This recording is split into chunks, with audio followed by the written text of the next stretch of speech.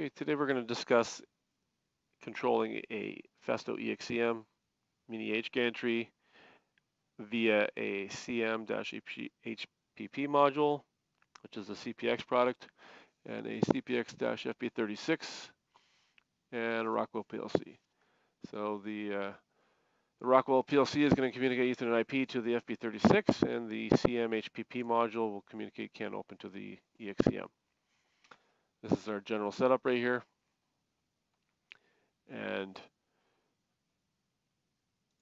we have a Festo maintenance tool project here, which is free software from the Festo website.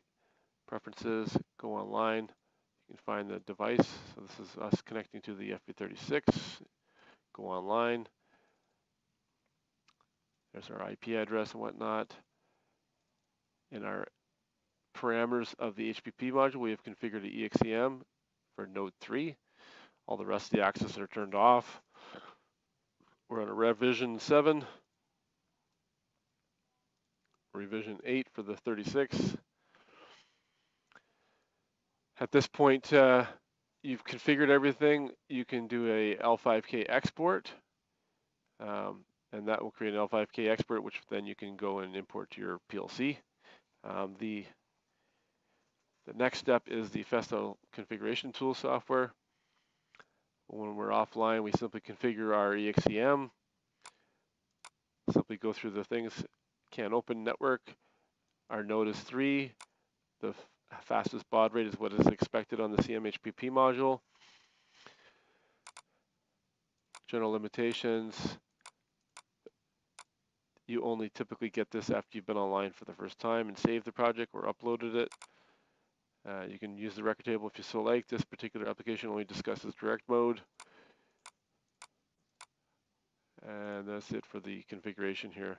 To get online to this, FCT interface, scan, you select the access that you find. If you don't like that access, you can go into here and you can modify the network however you want.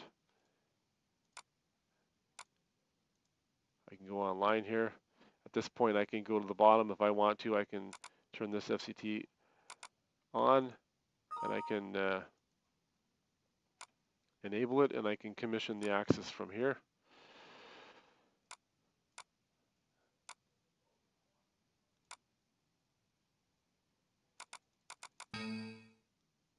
Yeah, yeah, yeah. I was telling him to do a relative move that was beyond his travels. Get home the axis, or jog it, I mean. Jog it. I can go down to homing and I can hit start homing. It will home the axis. Now it's been homed. I can optimize it, I can monitor different things. I can do a read for diagnostics. Um, and that's just, so turn that off. And now we have the PLC to contend with. So in the PLC, we did the L5K export in the Festo maintenance tool software. This then was imported to this particular project here. Takes a snapshot of the CPX manifold by doing that. Um, populates the IP address. Make sure that you select unicast. Uh, one millisecond is uh, the lowest RPI that can be used on the FB36, but you know, to be reasonable, let's go with 10 milliseconds here. Um, the FB36 generic module import. Once it's done, you'll see that it configures and adds uh, the configuration data, populates this, these fields here. Like I said, it's a snapshot, and your full configuration data that you've taken a snapshot of will be downloaded on first scan of the PLC because the configuration word is not a zero in the generic configuration. And then you've got input data and output data for that FB36. The Festo maintenance tool software will populate similar to this. I have modified the values right here to reflect values that are the data map for the uh, the physical EXCM controller. This here uh, is in this particular document here on the website of Festo. And it shows you that, you know, record mode, direct mode. Direct mode is what we're discussing today. And one of the flaws, or one of the drawbacks to this particular EXCM is that there are no AOIs available, uh, add-on instructions for the Rockwell PLC. So what I've done is I've done some sample code to kind of accelerate your project here. And the way the design of my code is, is that you've got some map inputs, map outputs.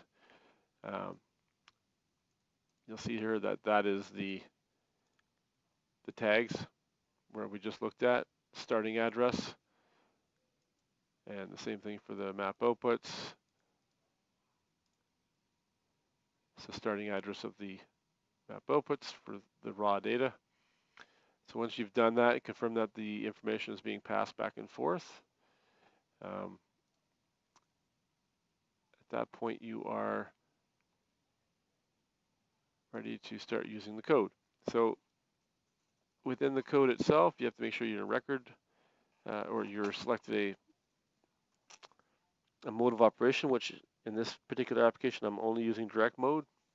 In direct mode, what we do is we send, um, we populate the set point position, X and Y, and we give it a, a velocity right here, and we tell it to go to that position. And in the meantime, it's telling us what the actual position are, tells us whether there's faults, and these bits right here, the SCON, CCON, CPOS, SPOS, they'll give a status of a variety of different things, which is all discussed in this particular manual here. And once we have the mode set to direct mode, next thing we do is turn on the drive, make sure we have drive ready. I'm just control T for, for toggle right there. Make sure we have no faults, which we don't.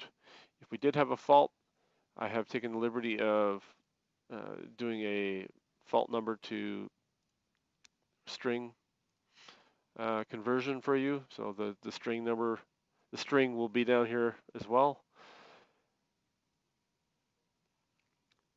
First thing we need to do, because everything is uh, steppers, is we have to home the axis, Control T holds down the start key, it homes the axis, homing sequence complete.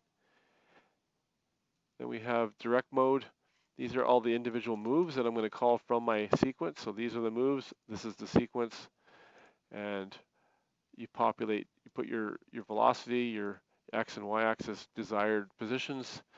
And when you turn this bit on, toggle the bit, it's now going to start cycling through, see here, how it's cycling through the variety of positions.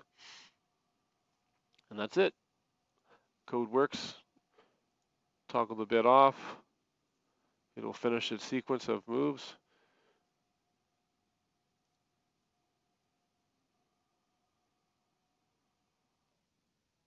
And now it stopped.